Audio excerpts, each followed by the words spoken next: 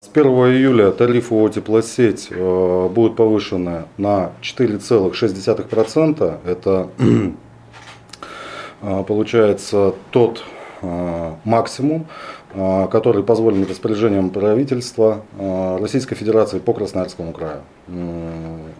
Повышение ежегодное, то есть мы идем э, в рамках э, данной процентной ставки и э, в принципе существенного повышения в платежных документах не будет. В принципе с учетом, ну ни для кого не секрет, да, той стоимости материалов, которые мы получили в этом году, да, а, где у нас трубопрокат вырос от 40 до 60 процентов, но это минимум, минимум, вот и все.